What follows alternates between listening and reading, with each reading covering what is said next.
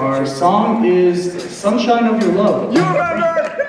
And, and what famous rock guitarist was in Cream? Come on, you gotta know this. Sarah. What famous rock guitarist was in Cream? Clapton. Eric Clapton. Clapton. All right, so here's uh, Murdoch singing a song that he apparently knows by someone he apparently does not know. Sunshine of Your Love. Give it up for these guys. Go Murdoch! I'm ready.